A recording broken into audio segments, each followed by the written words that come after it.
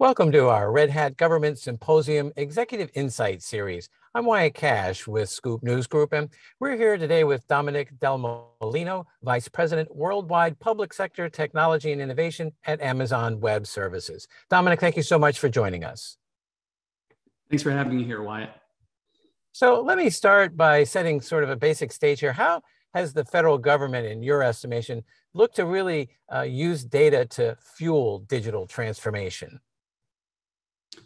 You know the best and easiest example that that i think that we have to understand around this it comes from how the government has looked to see how citizens are accessing government services. And they use data to understand are citizens using traditional like desktop computers or are they moving to personal devices like tablets and smartphones to access government websites?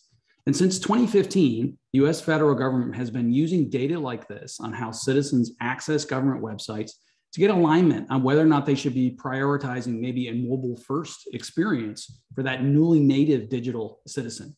Um, a great example here is analytics.usa.gov. It's an open source website hosted on Amazon S3, and it's delivered via Amazon CloudFront, and it shows how people are interacting with government websites. On any given day, more than 300,000 people across the US access federal websites, and now over half of them do so via mobile devices.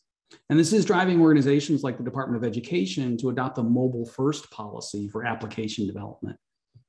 On many days, the most popular US federal website is login.gov. It's an open source identity framework hosted on AWS that provides an identity platform for public users who are interacting with government websites. So, using data like this to understand how public users want to interact with government systems, especially when more and more of our interactions are digital, has really given the federal government that solid information that's accelerated digital transformation.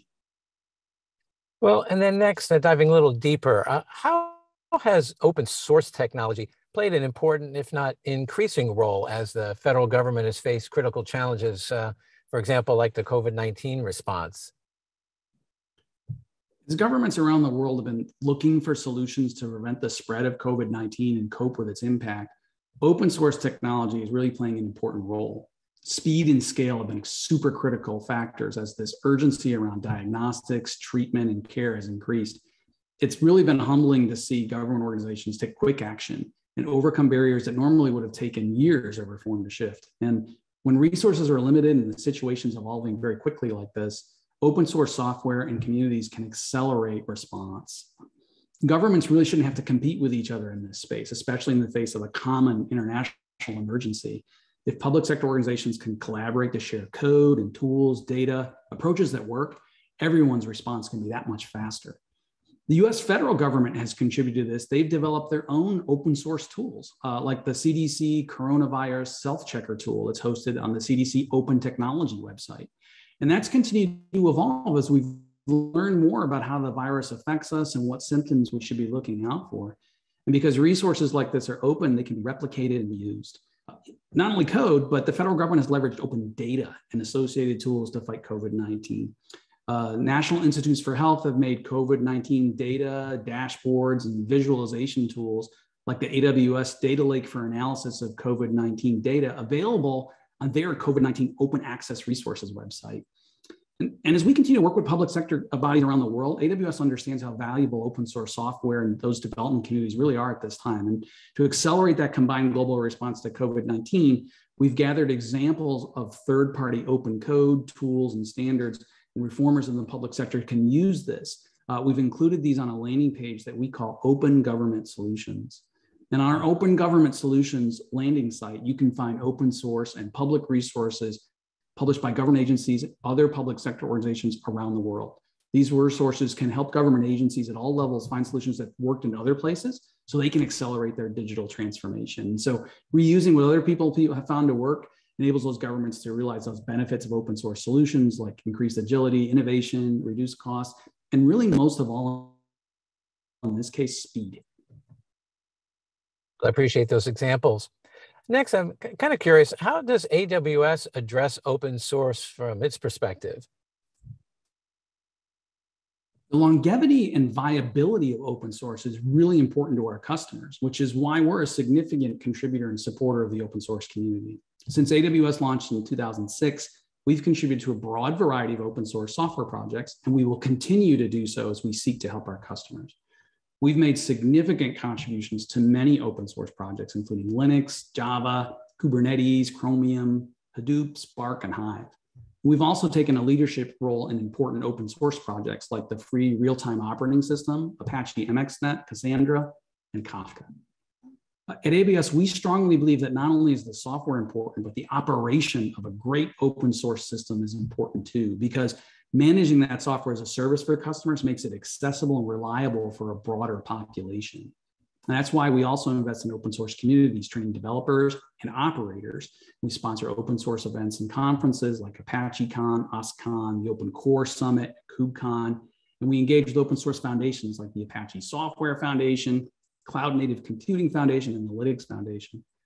Marketing support and AWS promotional credits for open source projects help communities by growing the number of end users and contributors, and that really accelerates the adoption of open source projects. Today, there are more than a thousand Amazon-led projects released as open source, and we continue to innovate with our customers to expand those capabilities of their open source projects as well. Interesting.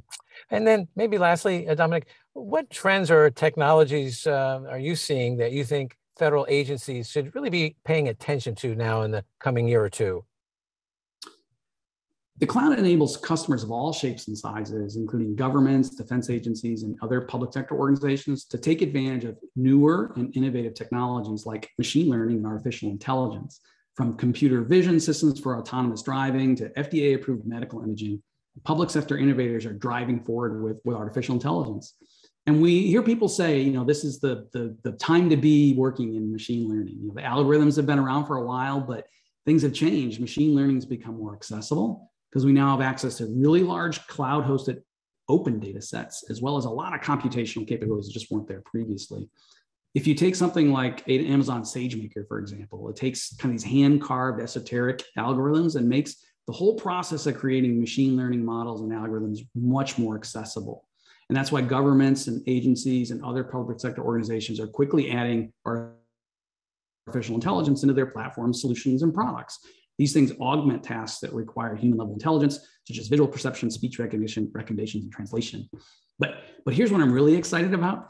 Uh, it's something I think agencies should be paying attention to in the next year or so, and that is putting artificial intelligence and machine learning models to work in the places where they're needed the most. In the past, it was difficult not only just to develop these models, but to tune them to work on devices like smartwatches and cameras or personal safety items. And so recently, AWS has released an open source library called AWS SageMaker Neo. And that enables developers to build artificial intelligence and machine learning models and deploy them to a common runtime library, which vendors can customize for specific hardware. This really expands and opens up the possibility of getting those models out to the places where they're needed most. Um, and it's an exciting development that I really think agencies should be paying attention to. That does sound exciting and certainly seems to hold a lot of promise as well. Well, Dominic Delmolino, thank you so much for taking a few minutes to uh, share your insights and uh, about open source and the cloud and how that's helping uh, federal agencies. Thank you so much.